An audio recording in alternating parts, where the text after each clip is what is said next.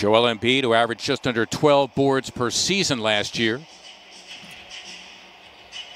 Simmons, the lob for Embiid. Beautifully done between those two. And for Joel, the first bucket of the season.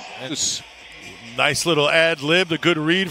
Nice patience from the 76ers. Curry, calm, cool on that finish. Simmons to the floor, recouping it for the Sixers, who come up with a turnover. Active hands at 6'10. What a danger.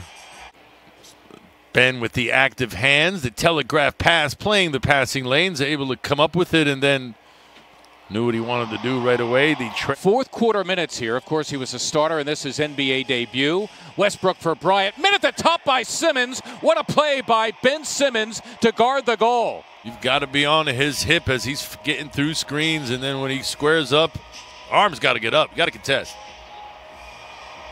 Simmons swooping in and scoring. Ben Simmons with 14. Congratulating each other, and rightfully so. That's a great screen from Joel to free up Ben.